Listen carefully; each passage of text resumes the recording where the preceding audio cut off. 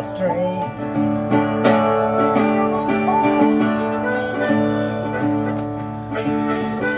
make sure you take your coat just in case it might rain.